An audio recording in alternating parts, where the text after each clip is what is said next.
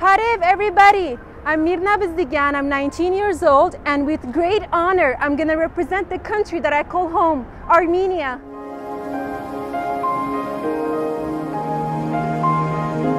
My childhood was a roller coaster ride. I was born in Aleppo, Syria, and have experienced the Syrian war since the age of 10.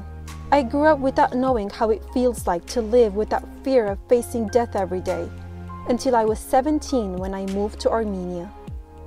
My family were the place I found strength, warmth, safety, and power throughout the difficult times. Unfortunately, Armenia has also been facing war since last year. That is why, as Miss World Armenia 2021, I hope to be Armenia's strength, source of motivation, hope, and smile they can put on their face. With the help of my current studies in the College of Humanities and Social Sciences, I'll reach my dreams of creating change and leaving a positive impact on people.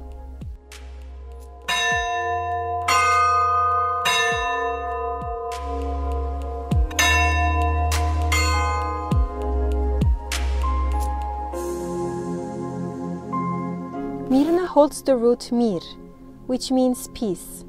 This has always helped me to seek my purpose in life, to spread peace in the world. I am so excited to meet my stunning fellow contestants from around the world and cannot wait for an adventure that comes once in a lifetime.